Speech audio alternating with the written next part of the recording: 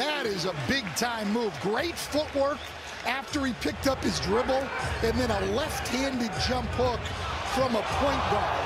Harden just grazes the rim, and Vonleh secures it.